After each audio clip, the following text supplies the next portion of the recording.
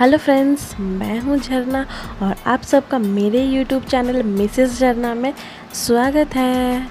आज का recipe start करने से पहले, अगर आप नए हैं मेरे चैनल पे तो जल्दी से सब्सक्राइब कर ले और बेल बटन को भी प्रेस कर दे ताकि आपको मेरे आगे आने वाली वीडियो का नोटिफिकेशन पहले मिल पाए और आप जल्दी से वीडियोस देख पाए। आज मैं होममेड कुकीज़ बिस्किट बनाने वाली हूँ, वो भी कढ़ाई में।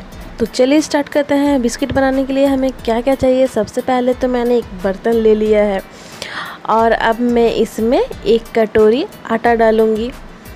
आप कटोरी देख ले। एक ही साइज़ के कटोरी में ये आटा लेना है। उसी साइज़ कटोरी में आपको मैदा लेना है, एक कटोरी और एक कटोरी बेसन लेना है। आप खाली आटा का भी बिस्किट बना सकते हैं या खाली मैदा का भी बिस्किट बना सकते हैं। मैं तीनों चीज़ एक साथ मिक्स कर लेती हूँ अच्छा से। अब मैं से एक कटोरी पिसी हुई चीनी डाल देती हूँ। अगर आपके पास चीनी ना हो तो मिश्री डाल सकते हैं, मिश्री को भी पीस के डाल सकते हैं। अब उसमें थोड़ा सा नमक डाल लेती हूँ और उसे अच्छे से मिक्स कर दूँगी। अगर आपको सोडा पसंद नहीं है तो खाने वाला सोडा नहीं भी डाल सकते हैं इसमें। मैं बस एक पिंच सोडा डाल रही हूँ इसमें और अच्छे से मिक्स कर लेती हूँ। अब इसमें मैं एक ढक्कन वनीला एसेंस डाल देती हूँ। अगर आपको वनीला एसेंस का स्मेल पसंद नहीं है तो इलायची कूट के भी डाल सकते हैं और अच्छे से मिक्स कर सकते हैं। अब मैं थोड़ा थोड़ा घी लेके अच्छे से इसमें मिक्स कर दूँगी। घी के जगह रिफाइंड ऑयल भी यूज़ कर सकते हैं बटर भी यूज़ कर सकते हैं। बस उसे हल्का सा मेल्ट कर ले बटर को।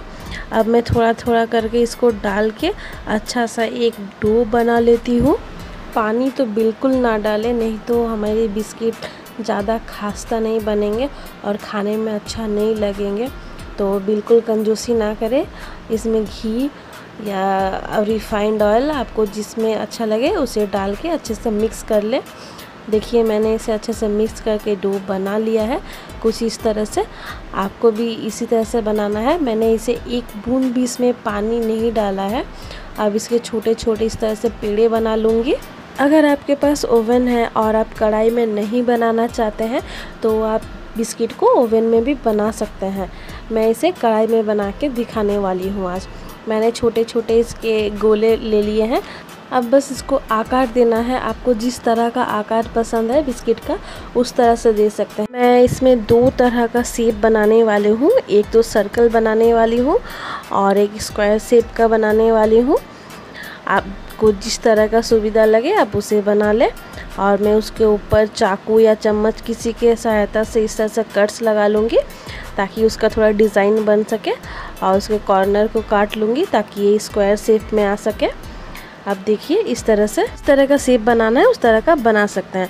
अगर आपके बिस्किट के कॉर्नर साइड साइड में फट जाए तो उसे अच्छी तरह से हाथ में लेके मल मल के उसे गोल कर ले। जितना आप उसको मसल मसल के गोल करेंगे उतना ही अच्छा होगा, उसके कॉर्नर साइड साइड में नहीं फटेंगे। देखिए कितना अच्छा लग रहा है। अब आप इसके ऊपर जैसा आपको डिज़ाइन पसंद है, उस तरह का डिज़ाइन बना सकते हैं। अगर आपको डिज़ाइन नहीं देना है तो नहीं भी दे सकते हैं। इस तरह से बना के सर्कल स्क्वायर जैसा आपको बनाना है सेप बना लीजिए। बिस्किट को मैं गैस में बनाने वाली हूँ और कढ़ाई के ऊपर बनाने वाली हूँ।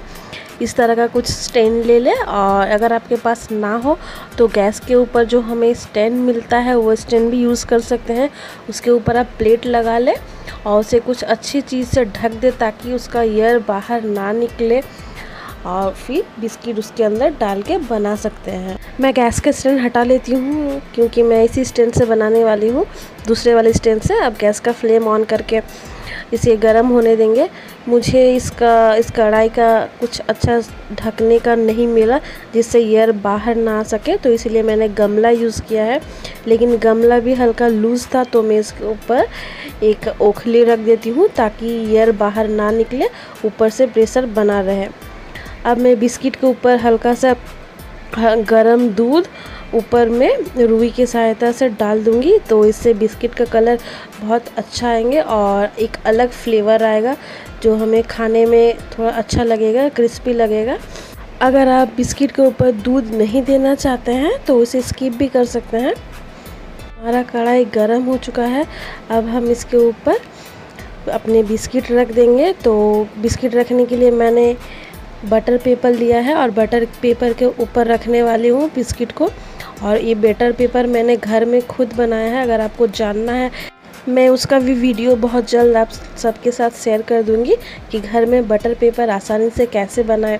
ये हमारे बहुत काम आते हैं, जैसे कि केक बनाएँ, कोई चीज़ आपको बेक करना है तो आप उसके नीचे रखें, ताकि नीचे चिपक ना जाए और अच्छे से पक पाए। अब मैं इसे ढक के कम से कम 20 से 25 मिनट के लिए पकने दूँगी। लो फ्लेम पे रख के इसे पूरा पकाना है। अभी बस 15 मिनट हुए हैं तो मैं बस एक बार चेक करके आपको दिखा देती हूँ ये किस तरह से पक रहे हैं। देखिए थोड़ा थोड़ा फूल गया है, लेकिन अभी तक हुए नहीं है। इसे होने में और 15 से 20 मिनट लगेंगे तो इसे मैं ढक देती हूँ। और पकने के लिए और 15-20 मिनट के लिए रख देती हूँ। 15 मिनट बाद मैंने सारे बिस्किट निकाल लिए हैं। आप देख सकते हैं कितना सुंदर कलर आया है। और बटर पेपर के वजह से देखिए, नीचे से चिपका नहीं और कितने अच्छे बने हैं मेरे बिस्किट। तो प्लीज़ लाइक कर दे।